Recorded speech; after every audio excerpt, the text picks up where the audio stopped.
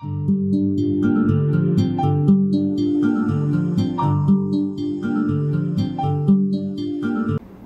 பற்றிய ஒரு விழிப்புணர்வு நிகழ்ச்சியிலே நாங்கள் இன்று கலந்து கொண்டிருக்கிறோம். எங்களோடு ஏராவூர் ஆதார வைத்தியசாலையினுடைய சைக்காட்டிக் டாக்டர் தயான் அவர்கள் கலந்து கொண்டிருக்கிறார்கள். இன்று கொரோனா ஏற்படுத்தியிருக்கிற சூழல் மக்களை ஒரு வகையான பீதிக்கும் எதிர்காலத்தை பற்றிய நிச்சயமில்லாத தன்மைக்கும் கொண்டு சென்றிருக்கிறது. இந்த நிலைமைகள் மாற வேண்டும். மக்கள் இயல்பு வாழ்க்கைக்கு திரும்ப வேண்டும் என்ற நோக்கத்திலே நாங்கள் இந்த நிகழ்ச்சியை ஒழுங்கு செய்திருக்கின்றோம்.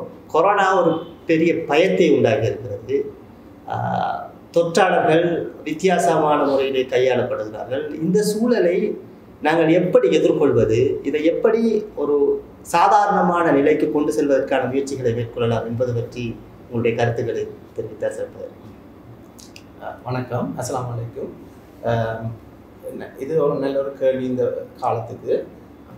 நோயை பற்றிய நல்ல அறிவு இன்னும் மக்கள்கிட்ட போய் சேரலன்றதான் இந்த காரணமாக இருக்குது. இந்த நோயை பற்றி மக்கள் பயன் பயப்படுறதுக்கு.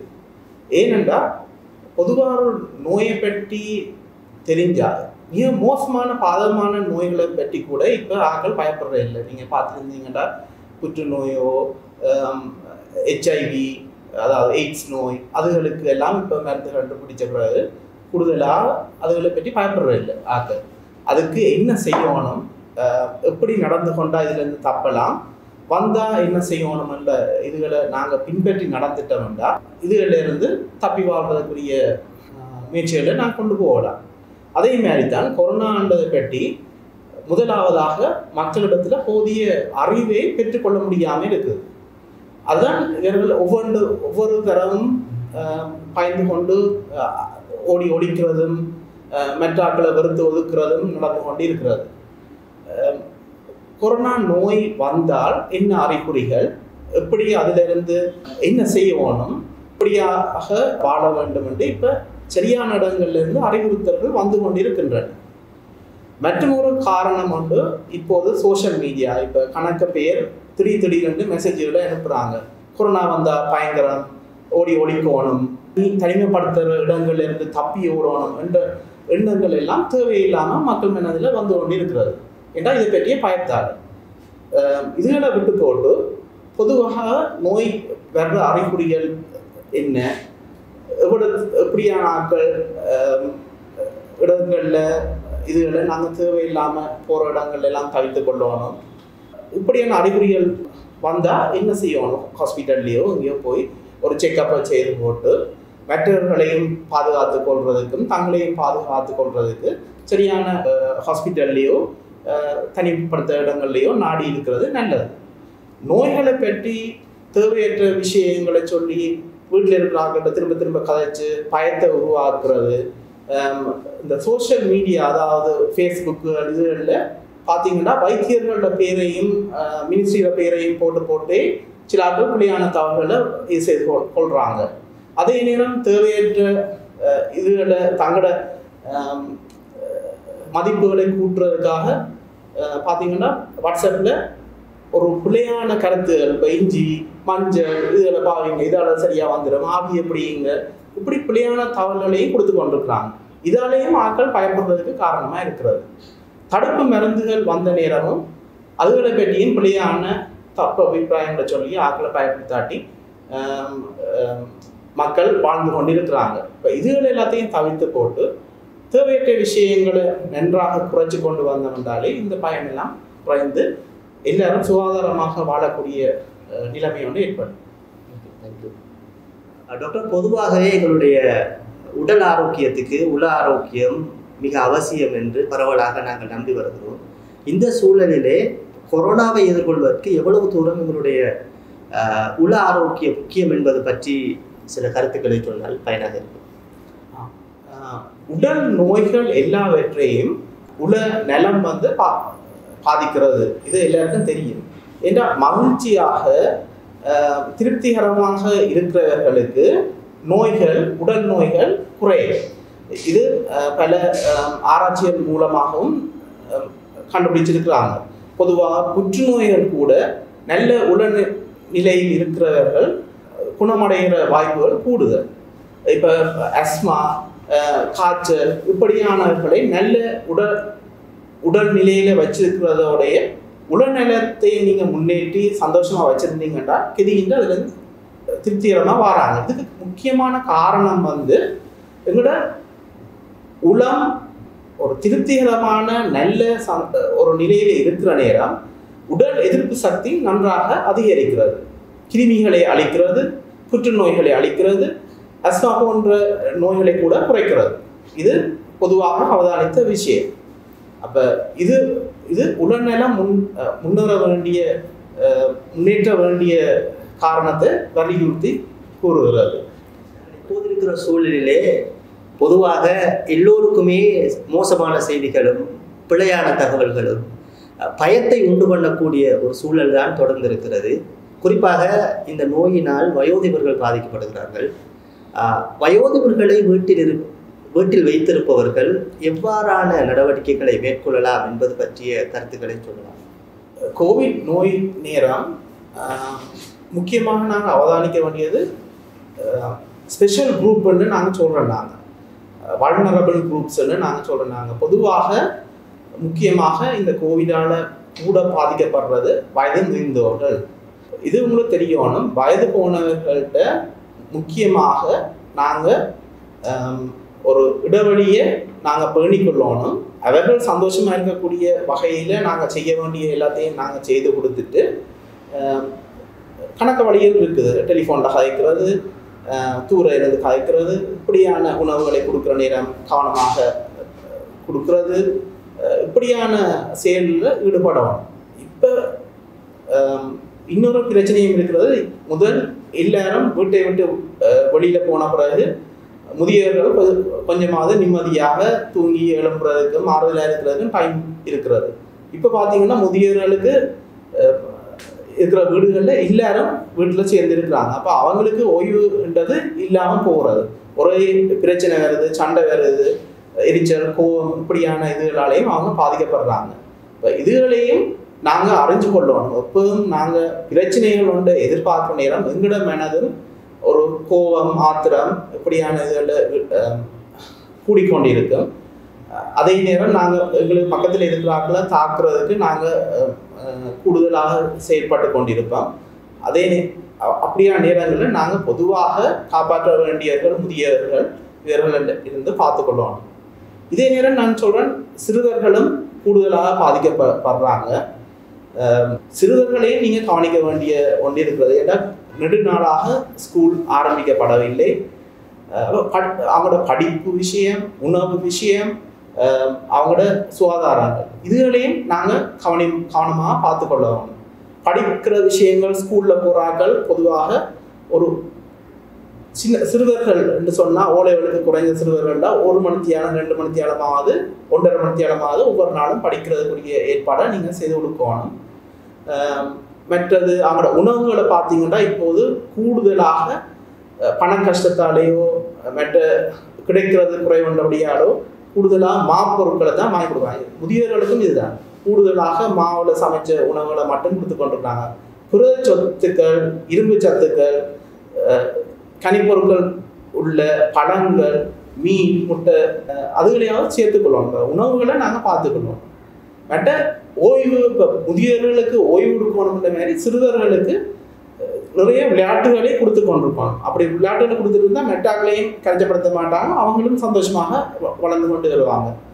சிம்பிளான விஷயங்கள். படம் கீறுறது விலை குறைஞ்ச சின்ன பழைய கார்ட்போர்ட் பட்டியலில் உருவங்களை செய்து விளையாடுறது டாய்ஸ் இப்போ வாங்கணும்னு அவசியம் இல்லை. எவ்வளோ சின்ன சின்ன இதுகளை வச்சு அவங்களே செய்ய வச்சு கொஞ்சம் நேரம் கொஞ்ச நேரம் அவங்களோட செலவழிச்சிங்கன்னா அவங்களோட மனநிலைமையும் கூடிடும் ரெண்டாவது பெண்கள்.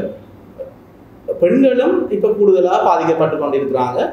முக்கியமாக முக்கியமா கர்ப்பமான பெண் பெண்களும் பாதிக்கப்பட்டு கொண்டிருக்கிறாங்க. இப்போ மனநிலை நிலைமையில். இப்போ இவங்களையும் நாங்கள் கூடுதலாக ஒரு சந்தோஷமான நல்ல நிலைமையில் வச்சிருக்கிறதுக்குரிய ஏற்பாடுகளை செய்யணும்.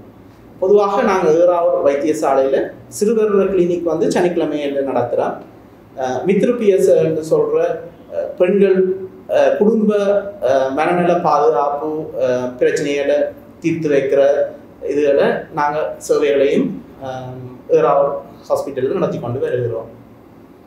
இந்த காலத்தில் குறிப்பாக வீடுகளில் எல்லோரும் ஒன்றாக இருக்க வேண்டிய சூழல் ஏற்பட்டிருக்கிறதாலேயோ அல்லது வேறு சில காரணங்களாலேயோ கணவன் மனைவிக்கு இடையில் ஏற்படுற பிரச்சனைகளோட வீதம் கூடி இருக்குது அது நிறைய விவாகரத்து நிலைமைகளை கூட ஏற்படுத்தியிருக்குது. இந்த தகவல்கள் வெளிவருது. இதுக்கு பின்னால் இருக்கிற காரணம் என்ன? இது எப்படி இல்லாமக்கலாம்ங்கிறத பற்றி கொஞ்சம் பேசினா இது மிச்சம் பிரயோசனமாக இருக்கு டாக்டர் கொரோனா வந்த உடனே எல்லாரும் ஒன்றாக சேர்ந்து இருக்க வேண்டி இருக்கிறது. இதை ஏன் நான் கொண்டு வரேன்னா முதல் ஏதாவது சின்ன ஒரு பிரச்சனை வந்தாலும் ஒரு ஆளாவது வெளியில போற நேரம் அந்த அமைதியாக அமைதியா இருந்து சிந்திச்சு தங்களுக்கு என்ன நடந்தது ஏன் இந்த பிரச்சனை வந்தது என்று யோசிச்சு போட்டு திரும்ப குடும்பத்துக்குள்ள வந்து கலைக்கிற நேரம் அது அமைதியாக சந்தோஷமாக கையாளக்கூடியதாக மாறிடும். இப்போது அப்படி இல்லாமல் ஒரு பிரச்சனை வந்த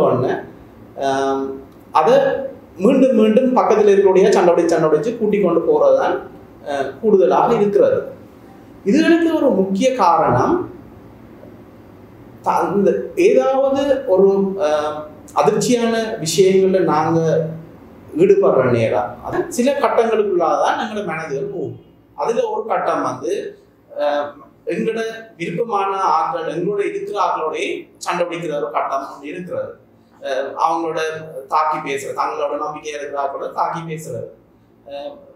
சில பேர் நம்பி முதல் நம்பாம இருப்பாங்க. ஒரு கருத்தம் வந்தோடனே இந்த நம் இப்படி ஒரு வருத்தம் பெறாவது நாங்க இதை செய்ய மாட்டோம் பிறகு அடுத்த கட்டம் ஏதாவது டீல் பண்ற மாதிரி சில இது இருக்குது அடுத்தது வந்து பொதுவாக தங்களுக்கு உதவி செய்கிறார்கள். எல்லாரோடையும் சண்டை பிடிச்சு கொண்டு இருப்பாங்க இது அவங்க ஒரு மனநிலைமைகளால வாராங்க. பிறகு கொஞ்சம் அவங்களுக்கு ஒரு புத்தி வந்து ரைட் இது ஒரு வருத்தம். இதை நாங்கள் இப்படி செய்யணும். அப்படி கையாளுற ஒரு கெட்டித்தனம் அறிவு வளர்ற நேரம் இந்த பிரச்சனையை குறைஞ்சு போயிடும் அப்போ இதுதான் அந்த ஆற்றோட ஒரு குடும்பத்துக்குள்ள சண்டை வாரதுக்கு முக்கிய காரணமாக இருக்குன்னு நான் நினைக்கிறேன்.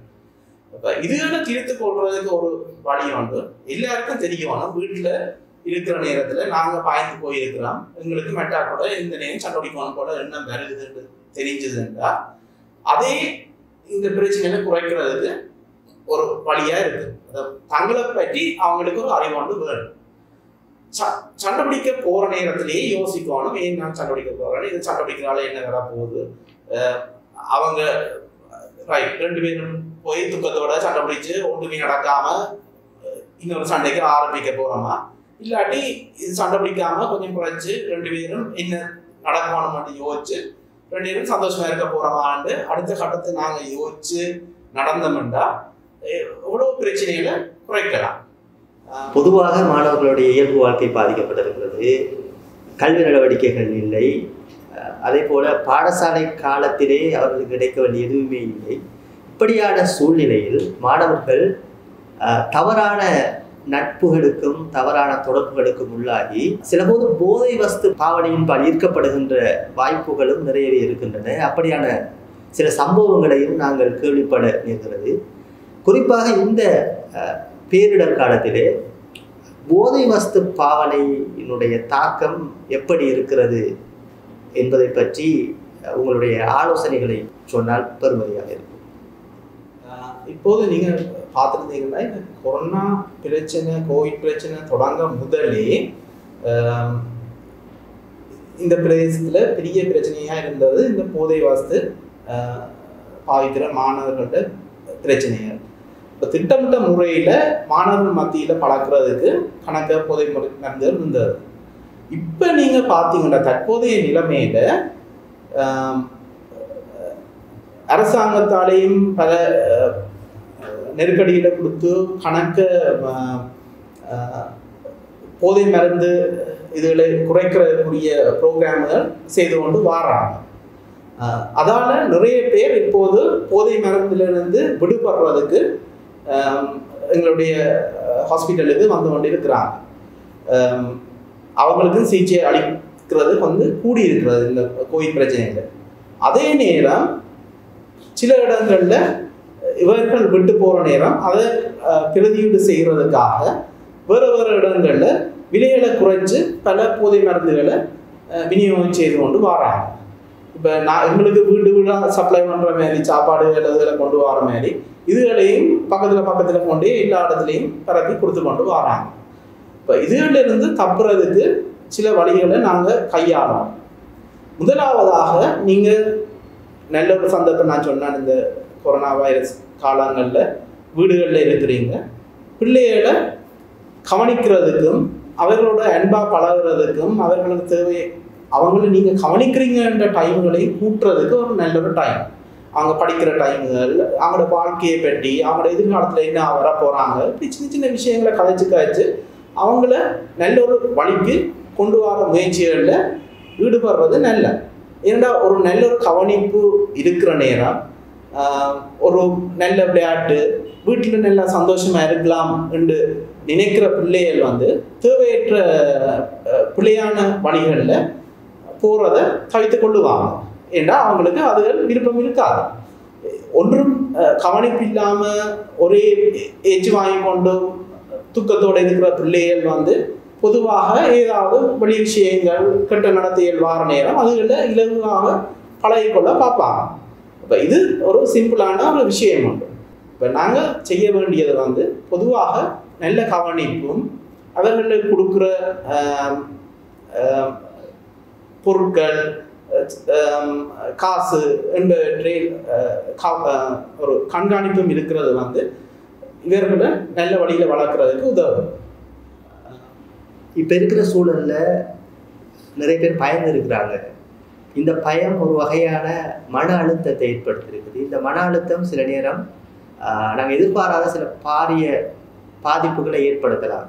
இந்த இந்த மன அழுத்தத்தை எப்படி கையாளலாம்? இந்த மன அழுத்தத்திலிருந்து விடுபடுறதுக்கான வழிமுறைகள் என்னங்கிறத பற்றி சில ஆலோசனைகளை சொன்னா மிச்சம் பொறுத்த மாதிரி. மன நலத்தை பற்றி நாங்கள் காய்ச்சிருக்கிறோம் அதே நேரம் ஒரு நோயை பற்றிய பய உணர்வு எங்களுக்கு அந்த நோயை பற்றி நல்ல உண்மையான விவரங்கள் தெரியாததால் இந்த பயங்கள் கூடுகிறது. பய உணர்ச்சி கூடுறதால நாங்கள் பிழையான நடவடிக்கைகளில் ஈடுபடுறதும் பிழையான தகவல்களை பரப்புறதுக்கும் உடந்தையாக இருக்கிறோம். அதை செயல்களையும் இறங்குறோம் பொதுவாக அது எதிர்மறையான விளைவுகளை தான் ஏற்படும். ஒரு ஒன்றை பற்றி நாங்கள் பாய்ந்து கொண்டிருந்தோம். எப்போவும் அதை பற்றி கூடாதையும் மெட்டாக்களுக்கும் அதை பற்றி பிழையான விஷயங்களை தான் கூட சொல்லிக் கொண்டிருக்கோம் இந்த நோய்களை பற்றி நாங்கள் கொஞ்சமாவது ஒரு அறிவை பெற்றுக்கொள்ள வேண்டாம் ஒரு வைத்தியரோ வைத்தியசாலை ஊழியர்களோ இல்லாட்டி இந்த நோய்களை பற்றி தெரிந்த ஆக்கட்டையோ நீங்கள் பெற்றுக்கொண்டீங்கன்னா இந்த பயம் பயப்படுற எண்ணங்கள் உங்களுக்கு இருக்காது. அப்படியும் உங்களுக்கு நித்திர வராமல் கூடுதலாக அதை பற்றிய துக்கம் பயம் அப்படி ஏற்பட்டு கொண்டிருக்குதுன்னா நேரடியாக எங்களை வந்து சந்திக்கலாம். உறவினர்களோ உங்களோட நண்பர்களோ கூடுதலாக கஷ்டப்படுற மாதிரியோ கூடுதலாக சிந்தனையில் மாற்றங்கள் இருக்குது கூடுதலாக துக்கமாக யோசிச்சு கொண்டிருக்கிறாங்க இங்கே செத்து போயிடுவோமோன்னு பயப்படுறாங்க நித்திரை இல்லாமல் புலம்புறாங்க பயங்கர கனவுகள் வருகுது சாவை பார்க்குறாங்க அப்படி ஏதாவது ஒரு உங்களுக்கு சந்தேகம் எதுவும் இருக்குன்னா நேரடியாக எங்களை வந்து சந்திக்கலாம் வைத்தியசாலையில் எங்களோட மனநல கிளினிக்குகள் நடக்கிறது அதுலேயும் வந்து சந்திக்கலாம் உங்களோட ஆஹ் மற்றது டெலிஃபோனில் கலைக்கிறதுக்கு நாங்களோட டெலிஃபோன் நம்பர்களையும் நாங்கள் கொடுத்து வச்சிருக்கிறோம். அதுகளையும் நீங்கள் பாவிக்கலாம்.